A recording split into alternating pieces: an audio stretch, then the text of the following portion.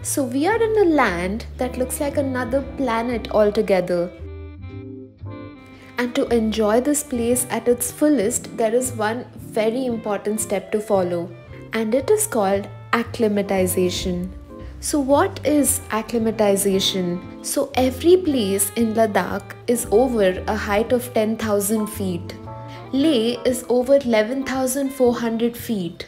At these altitudes, the oxygen level is fairly lower and the body takes some time to adjust to it. This process usually takes about 24 hours and during this time you should make sure that your body movement is minimum, you're well hydrated, you eat well and you take ample amount of rest. This is especially important if you take a flight to Leh.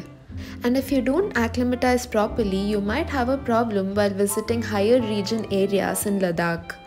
On day 0, while acclimatizing, you can visit Shanti Stupa, Leh Palace and Leh Market. Built in 1991, the Shanti Stupa holds the relics of the Buddha at its base enshrined by the 14th Dalai Lama. At Shanti Stupa and Leh Palace, you are treated to some amazing views and scenery. Leh Market is bustling, colorful, and beautiful to walk around in the evenings. There are also good restaurants around here, and you can warm up to some delicious local delicacies. While you're in Leh Market, you can get a postpaid SIM and also sort out your permits for your upcoming trips. So, today is day one of the itinerary. Leh has some of the most beautiful monasteries around, and we will be covering Shey, Thiksey, Hemis, and Zangdok Palri monasteries. We've rented bikes to cover these places at around 2200 rupees per day. You get treated to some of the most amazing views along the way. It was also slightly drizzling on the day we went, so it made the view even more beautiful. So we have arrived at our first destination, Shey Palace. This palace was constructed in the year 1655. Shey Palace is around 15 kilometers from Leh and it was the summer capital of Ladakh in the past. It has the second largest Buddha statue in Ladakh. Now that we've explored Shey Palace, we are all set to head to our next destination. We've made a quick pit stop along the way to check out the Rancho School that was featured in the movie Three Idiots.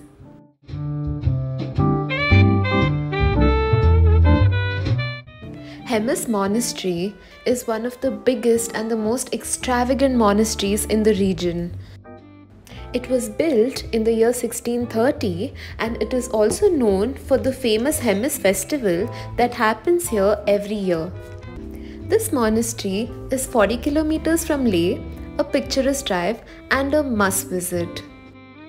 We have arrived at Thiksey Monastery. Thiksey Monastery, I am not exaggerating, looks like a scene straight out of Game of Thrones. This beautiful monastery is 19 kilometers from Leh at an altitude of 11,800 feet and has the most spectacular views. Did you know that it took over 4 years to craft this magnificent Buddha statue? Thiksey Monastery is a must visit when you're in Ladakh.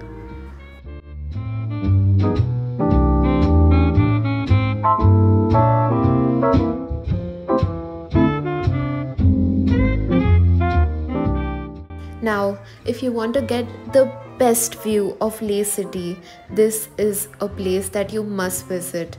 And it's a beautiful monastery again. It is called Zangdok Palri Monastery, which is right in the center of Leh city.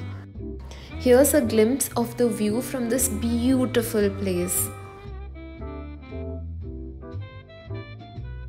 So we've come to the end of part 1 of this video and part 2 is coming up very soon. Please stay tuned and please don't forget to like, share and subscribe.